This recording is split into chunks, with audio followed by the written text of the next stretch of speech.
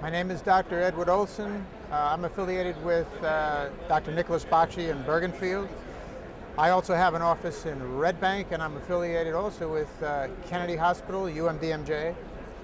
Um, what I do specifically is uh, essentially place implants and we do them for single teeth that are missing or for any sort of uh, retentive dentist, dented, uh, dental prosthesis like dentures.